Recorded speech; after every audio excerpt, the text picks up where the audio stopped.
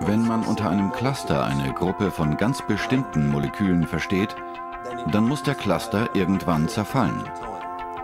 Die Beständigkeit der Cluster lässt sich nur erklären, indem man eine Struktur annimmt, in der Moleküle kommen und gehen können.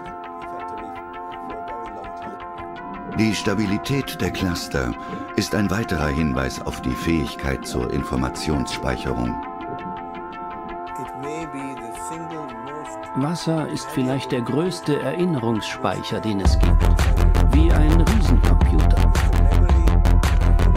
Wir müssen verstehen lernen, wie es sich organisiert. Es ist wie mit dem Alphabet. Durch seine Kenntnis versteht man noch keine Worte oder Sätze. Die Molekularstruktur von Wasser ist wie ein Alphabet. Und wir müssen lernen, Wasser in zusammenhängenden Sätzen zu lesen. Im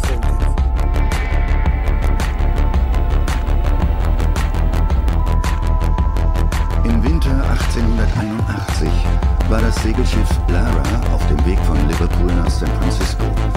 Am dritten Tag der Reise brach ein Feuer aus. Zusammen mit Captain Neil Carey verließ die Mannschaft das Schiff auf Rettungsbooten. Schon bald gingen die Wasservorräte zur Neige. Nach drei schrecklichen Wochen auf See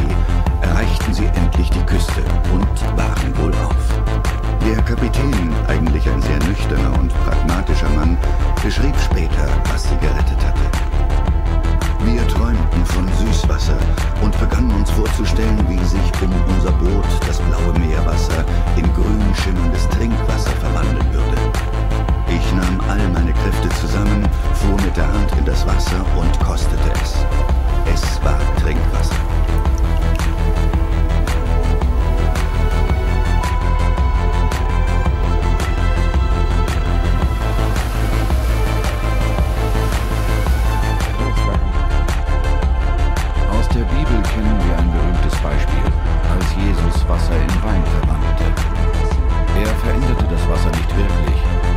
fügte auch nichts hinzu, sondern verlieh ihm eine ganz besondere Eigenschaft.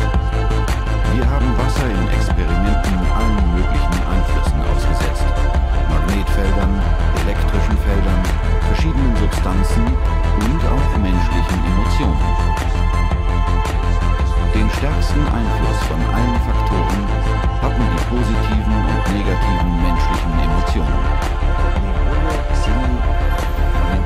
In Professor Korotkows Labor werden die Auswirkungen menschlicher Emotionen auf Wasser erforscht. Eine Probandengruppe sollte positive Gefühle wie Liebe, Zärtlichkeit oder Fürsorge auf einen Becher Wasser projizieren. Dann wurde der Becher ausgetauscht und die Gruppe sollte das Wasser mit negativen Gefühlen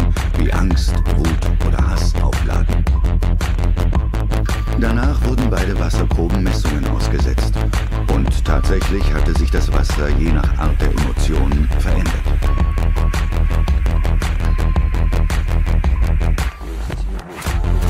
Liebe erhöhte das Energieniveau des Wassers und stabilisierte es, während Hassgefühle die Energie des Wassers verringert hatten. Ich hoffe, den Menschen zeigen zu können,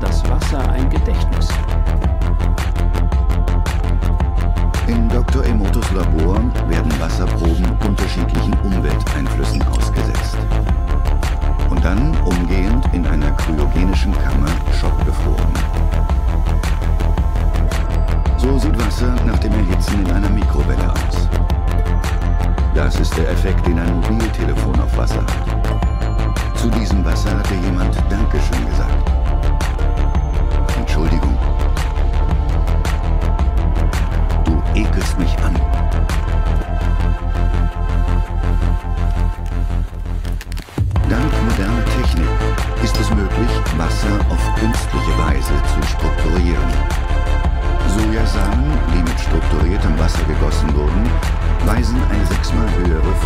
Strahlung auf als Sojasamen, die mit Leitungswasser gegossen wurden.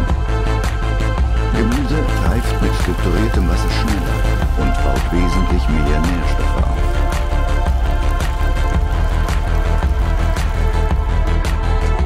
Die mit strukturiertem Wasser behandelten Sprösslinge waren größer, gerader und stärker, während die unbehandelten klein und schwach waren. Und die Pflanzen, die aus den behandelten Samen entstanden, sind bereits alle vollständig gereift kleinen nachweislich einen Effekt auf das Wachstum von Gemüse und Früchten. Setzt man für die Feldbewässerung strukturiertes Wasser ein, lassen sich 20% Wasser einsparen. Und das, obwohl kein Dünger dem Wasser zugefügt wurde, nur seine Struktur wurde verändert. Inzwischen kann die Wissenschaft zwar erklären, auf welche Weise dies geschieht, aber sie hat noch keine Antwort auf die Frage, warum sich all dies so verhält.